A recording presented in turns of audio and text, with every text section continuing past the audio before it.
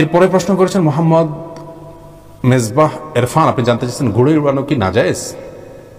ভাই মেজবাহ, গুড়ি উড়ানো নাজায়েজ হওয়ার কোনো কারণ নাই। অনেকে গুড়ি উড়ানোকে নাজায়েজ বলেন কিছু যুক্তি দিয়ে।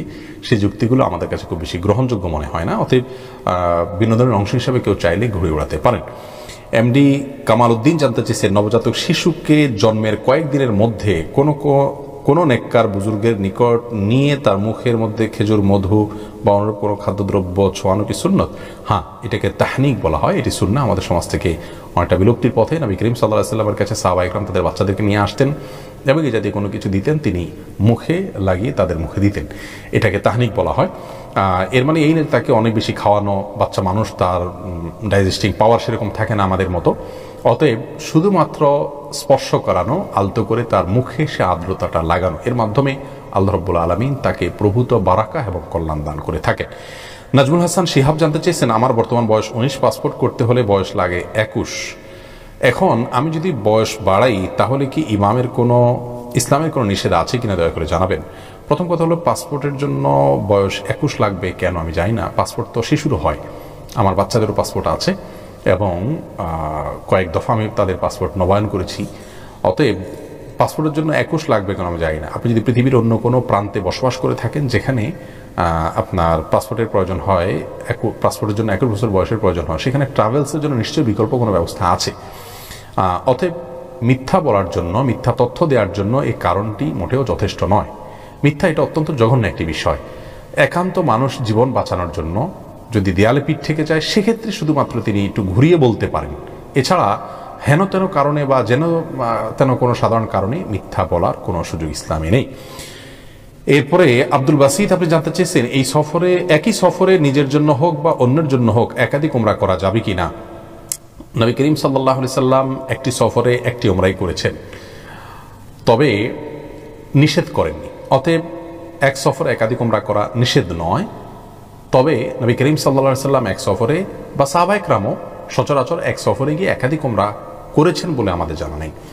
ওমরা সংখ্যা বাড়ানোর চেষ্টা তারা করতেন না। রসুল আকাম সাল্লাহ সাল্লাম সারা জীবনে মদেরা সফ হিজরতের পর মোট তিনি চারবার ওমরা করেছেন। বুখারিতে হাদিসটি এসছে যে সেই চারবার ওমরার মধ্যে একটা ছিল হোদাই বিয়ার সন্ধিতে ফেরত ফেরত গিয়েছেন মক্কা আস ঢুকতেই পারেন না সেটিকে একটা ওমরা ধরা হয়েছে।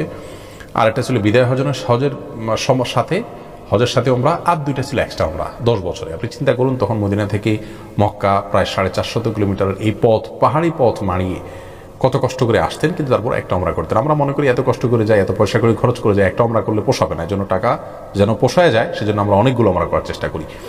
তো এই ওমরা করা নিষেধ নয়, আবারও বলছি, নিষেধ নয়, কারণ হাদিসে কোথাও নিষেধ করা হয়নি। আমি নিষেধ কীভাবে বলব? অবশ্যই কেউ চাইলে করতে পারেন, কিন্তু যদি তিনি সরাসরি নবী করিম সাল্লাহ আসলাম সাহাবা ইকরামের আমলের অনুযায়ী আমল করতে চান, তাহলে আমরা বলব, ওমরা একটাই করবেন, তওয়াফের সংখ্যা বাড়াবেন।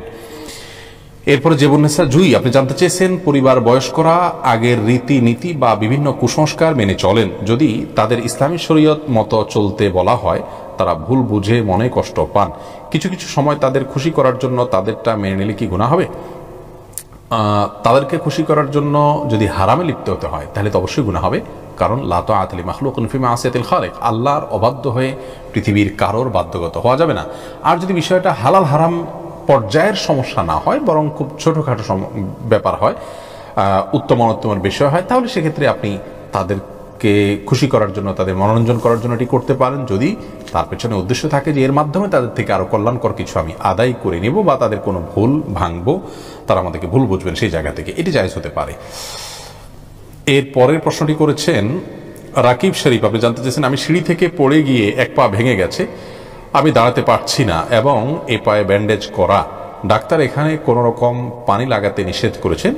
এমন অবস্থায় আমি কীভাবে অজু করব এবং আমি সালাদ আদায় করব কীভাবে? দেখুন আহ, কারও যদি হাত পা ভেঙে যায় বা ইনজুর্ড হয় সেখানে যদি কোনো প্রকার ব্যান্ডেজ ইত্যাদি থাকে এগুলো যদি খোলা ক্ষতিকর হয় তাহলে সেক্ষেত্রে তিনি অন্য অঙ্গ প্রত্যঙ্গগুলো ধোবেন অজুতে। শুধু ওই জায়গাটা এসে ভিজা হাত দিয়ে মাসা করে নেবেন। ধরুন আপনার আঙ্গুল ভেঙে গেছে, অথবা হাত ভেঙেছে, এই পুরো হাতটা প্লাস্টার করা। তাহলে আপনি অন্য অঙ্গগুলোকে ধোবেন। ধোয়ার পর এই হাতটাতে পুরোটা প্লাস্টার করে পুরোটার উপরে ভা- ভিজা হাত দিয়ে মাসা করে নেবেন। তাতে আপনার ওষুধ হয়ে যাবে, ইনশাআল্লাহ বিদিল্লাহ গোসলের ক্ষেত্রে একই কথা প্রযোজ্য, পুরো শরীর ধুয়ে এই জায়গাটাকে আপনি মাসা করে নেবেন। তাতে ইনশাআল্লাহ আপনার দায় থেকে আপনি মুক্ত হয়ে যাবেন। বোন সাদিয়া জানতে চেয়েছেন, আজানের সময় মহিলাদের মাথায় কাপড় দেওয়ার বিধান কি? ফজর ওয়াক্ত কয়টা থেকে কয়টা পর্যন্ত ওয়াক্ত হলেও যদি আজান না দেয় আমাদের অবস্থায় ঘুমিয়ে পড়ার আশঙ্কা নামাজ পড়ে নেওয়া যাবে কিনা? শেষে কথাটা আগে বলি, ওয়াক্ত হয়ে গেলে নামাজ পড়া যাবে। মা বোনরা বাসায় নামাজ পড়তে পারেন, এর জন্য আজান দেওয়া কোনো জরুরি নেই। সব বিষয়ে আমাদের আলাদা আলাদা ভিডিও আছে। আপনারা একটু সার্চ করলে পেয়ে যাবেন, কষ্ট করে আল্লাহ প্রশ্ন করতে হবে না। আদান সময় মেয়েদের মাথা কাপড় দেওয়া কোনো আবশ্যক নয়, এটাকে আবশ্যক মনে করার কোনো কারণ নাই। তবে সর্বাবস্থায় যখন বাইরে থাকবেন মাথায় কাপড় দিয়ে থাকবেন, সেটা আজান দেখ অথবা আজান না দেখ তার সাথে কোনো সম্পর্ক নেই, কিন্তু বাসায় থেকে অনেক মা বোন আজানের আওয়াজ শোনার সাথে সাথে মাথায় কাপড় দেন, তারা মনে করেন এটি জরুরি, এমনটি মূলত জরুরি নয়।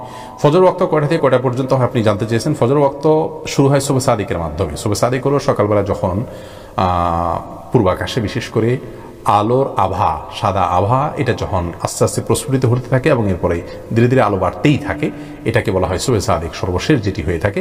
এরপর সূর্য ওঠার আগ পর্যন্ত সালাদ পড়া যায়, তবে সূর্য ওঠার ঠিক শেষ মুহূর্তে এই এই টাইমে সালাদ পড়া বা নামাজ পড়া উচিত নয়।